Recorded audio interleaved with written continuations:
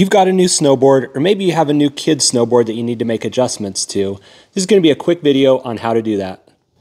I'm setting up a brand new Arbor Element snowboard here. I've got the Arbor Hemlock bindings, but what I'm going over here should transfer to most snowboards that have this style of inserts. The inserts are just where the screws insert into the board to hold the binding down. You might see this style on snowboards where it's just a single track down the middle, but what we're covering will apply. The inserts are just these screws here as opposed to going into the board. First up, you need to decide if you're regular or goofy stance. Goofy would be with your right foot forward, regular would be with your left foot forward. There's a number of different ways to do this, but some indications are what is the first step you take going up a set of stairs? Is that with your right foot or your left foot? Also, when riding a bike, what foot do you keep forward? Is it your right foot or left foot? If it's your right foot, you're likely goofy. Or riding a skateboard or a scooter, what foot do you put in front? Another common test is standing still and having someone push you forward and seeing what foot you step forward with first. Most modern snowboard bindings are going to have a base plate like this down in the bottom that just lifts up and gives you access to put the insert, which is where the screws fit into to attach the binding to the snowboard. Some of the older style bindings might not have this footbed here and it might just attached directly to the board from the base of the binding. So because this binding is being attached by that 2 by 2 insert pattern, you're using these outside two, but it does have these inside that will be used to attach to the channel style inserts on a snowboard. There's also some little indicators here, and that'll be used when I drop the puck into the base of the binding to set the angle. So I like to ride at about a 16 degree angle, so I've set that little indicator to match up on the binding, and most modern bindings will have this sort of system on them. You will likely have some of these washer type pieces as well that the screws go into. Now for right now, we're just putting those inserts into the base of the binding. Man, I love how these arbor boards look with that wood grain on them. So we've got those pucks put in with the screws in both of the bases of the bindings, but we need to figure out how wide do we set the bindings apart from each other, as well as how do you know what angle to put them at. One good way of doing that is just jumping off the bottom step onto the floor and seeing where your feet land. Do that a few times and then see what the angles are of your feet and then how far from the center of each foot to know how far wide to put your bindings. So after I did that jump test, I found that my front foot is about 15, 16 degrees on the front, and I like my back foot open a little bit as well to about five degrees. So kind of a duck stance. And that's more of a free rider style stance as opposed to someone that might be carving around uh, all mountain, might like a, a, zero degree on the back foot and an angle on the front foot. It's just something you're gonna have to play around with to see what feels most comfortable to you. Also on modern snowboards, you'll see some markings like this with these little lines on here. Those are reference marks on the snowboard to show you kind of the starting point of where you should start with the bindings.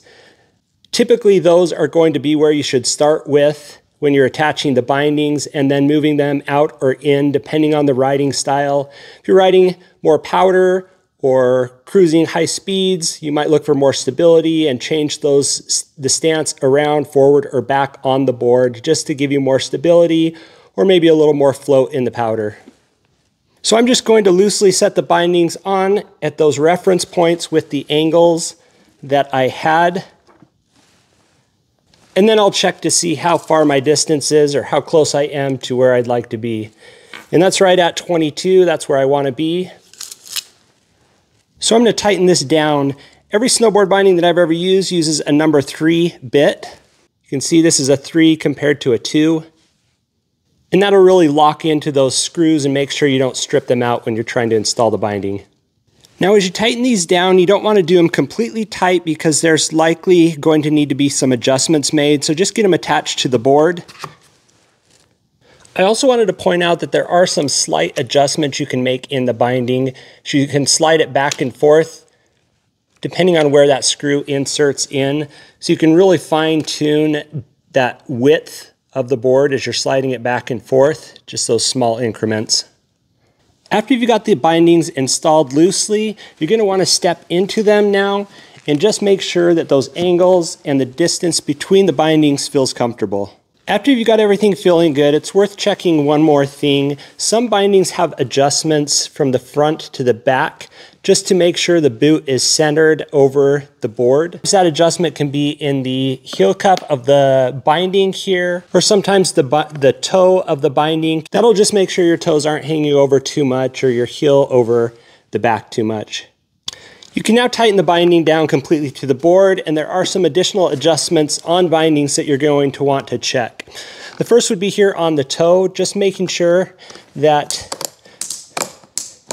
the strap contacts the boot in about the center. There's usually going to be some sort of adjustments down here, or on these bindings, the hemlocks, you've got an adjustment here. These are nice because they have a toolless adjustment. You can just pull that little tab out and screw it in. And then the ankle strap is going to be the same. It's kind of got an asymmetric pattern here, but you're going to want this uh, centered over the, and you're going to want to do that with the boot laced up tightly because it can adjust as you're riding and may be something that you need to adjust later while you're on the hill. That's why something like these hemlocks are nice with that tool-free adjustment. You can just pop those tabs out and tighten it or loosen it and adjust here on these different holes. Boot, these screws here are used to adjust the high back so that it's parallel with the board. As you can see here, because the binding is angled to the side, the high back doesn't run parallel with the edge of the board, so when you're leaning back, you're going to put a little uneven pressure. So to adjust the high back to be parallel with the board, we need to adjust those two screws. So on these Arbor hemlock bindings, to make the heel cup adjustment, you just move this little screw either forward or backwards on either side. So here, to make the high back parallel with the back of my board, I've moved this side backwards. And on the front side of the binding, I've moved it forward one notch. Now you can see with the binding angled at about 15 degrees, the high back runs parallel with the back of the board. Now this isn't something you have to do, and honestly you may not even notice if you make this change, but it does give the board a little more of a consistent feel when on the heel edge because you're applying a consistent pressure along the entire high back instead of just in one point. On the back here, you've got a forward lean adjuster, and what that does is this solid piece here that's cut into the binding, that fits right against the heel cup. And so when you lean back on the board, that's what's going to initiate that heelside turn. If you want to lean forward slightly more and be able to get into that heelside turn easier. However, it does force you to ride in a little bit more of a bent stance, but you can adjust this forward lean adjuster down, and so it makes contact with the heel cup quicker.